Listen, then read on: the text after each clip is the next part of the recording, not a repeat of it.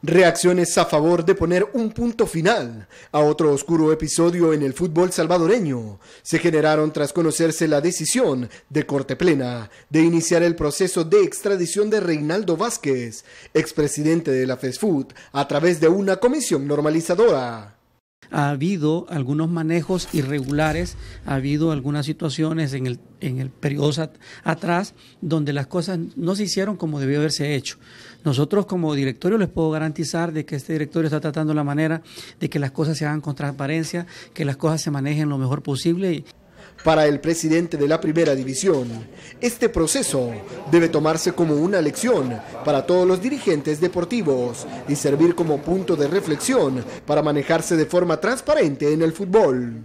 Será para que a futuro todo el mundo tenga el cuidado y maneje con la mayor eh, transparencia y, y lealtad una función como la que en este caso eh, ejerció eh, eh, Reinaldo en su momento. Para otros dirigentes de nuestro fútbol, este escándalo no debe servir como una cortina de humo para alejar la atención de otros temas importantes en nuestro país. Y el que haya cometido algún delito, pues va a tener que responder ante la justicia.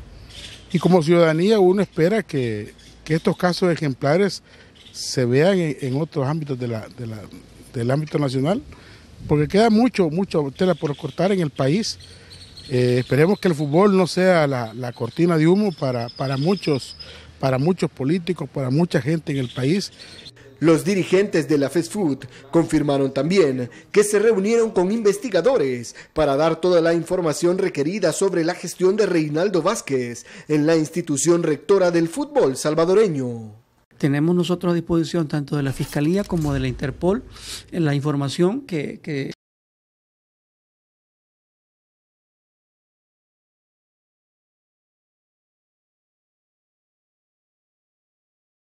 de, un grupo de investigadores en relación a este tema. Reinaldo Vázquez ejerció la función de presidente de la Fast Food entre el 2009 y 2010, cuando se firmó el primer contrato de cesión de los derechos televisivos de la selección mayor de El Salvador a la empresa de marketing deportivo Media World.